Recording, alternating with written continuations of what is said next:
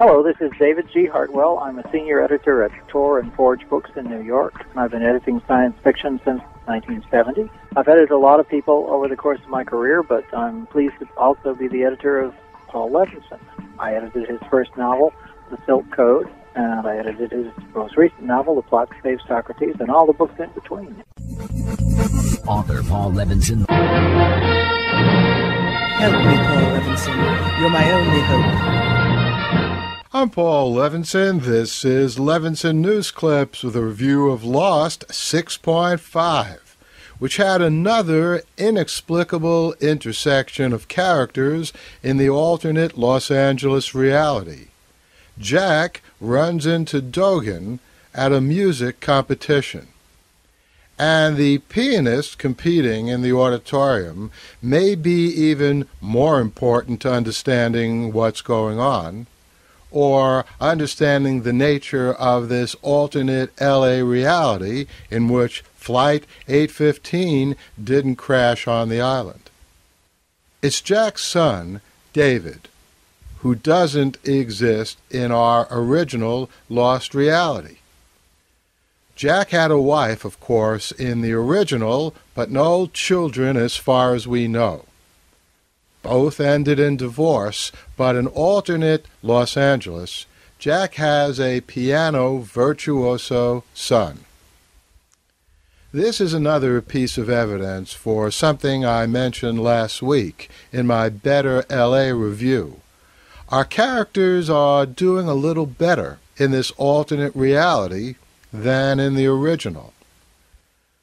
But in 6.5, there's also a hint of something else in this alternate reality. It seems that Jack, at least, is slightly out of it.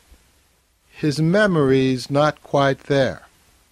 First, he's not quite sure about an appendix scar.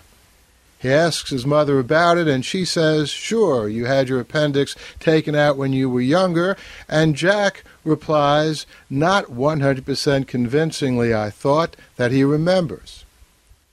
Then Jack doesn't know that his son was in the music competition. The explanation that David is keeping this from Jack is not unreasonable, but it still seemed to me that Jack's memory was a little less than fully charged. What could this be an indication of? That the LA better reality is not the prime reality, so that its denizens don't quite have a complete hold on their realities? Perhaps. Meanwhile, our original Jack back on the island gets taken to a lighthouse by Hurley under Jacob's direction, where they discover a device that shows Jack's house as a child in a live mirror. This is apparently how Jacob has been keeping an eye on Jack and other people with names on the wheel. Were these the same names we saw on the wall last week? Probably. All of this reminded me of Prester John's speculum, a semi mythical medieval device that Prester John, a semi mythical character, used to see across hundreds of miles, and perhaps, I always thought, also across time, but who can say? Back on the island, Jack destroys the speculum in the lighthouse which is fitting, since nothing remains of Prester John's speculum in our world today. And to top off this episode about Jack and his family, we finally get to meet Claire on the island. She's crazed, looking for her baby, and has a friend, Faux inhabited now by the Nemesis. So, lots of questions still not answered. For example, who is Jack's wife in the new reality in LA? I thought it was definitely the wife, Sarah, that Jack had in our original reality. But my niece thinks it could be Libby.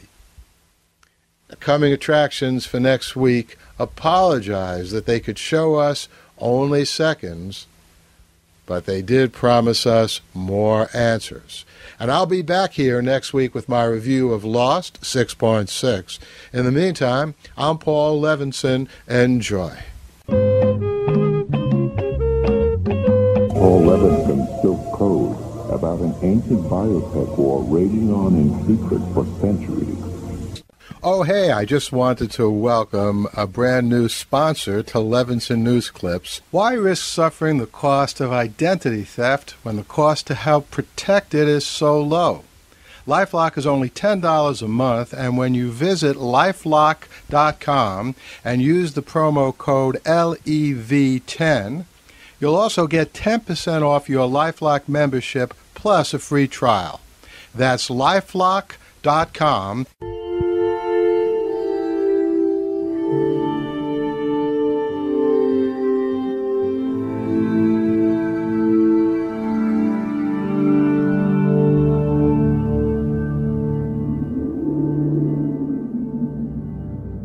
Athens, 2042 AD. She ripped the paper in half, then ripped the halves, then ripped what was left again into bits and pieces of history that could have been. Sierra Waters had read once that, years ago, it was thought that men made love for the thrill, while women made love for the sense of connection it gave them. Sierra had always done everything for the thrill.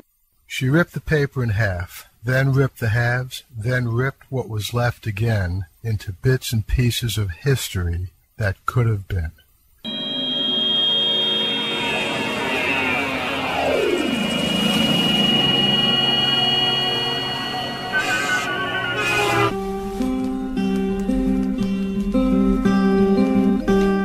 Entertainment Weekly says the plot to save Socrates is challenging fun.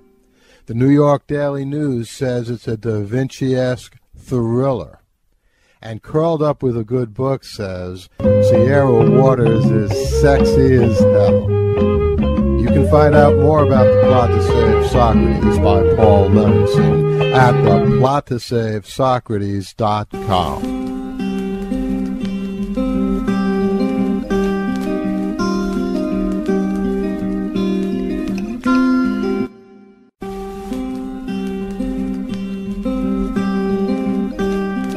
traveled 2,500 years back in time to ancient Athens to save Socrates from certain death, and now he doesn't want to come back with me. Oi, I'm gonna plot! All this and more in Paul Levinson's The Plots to Save Socrates.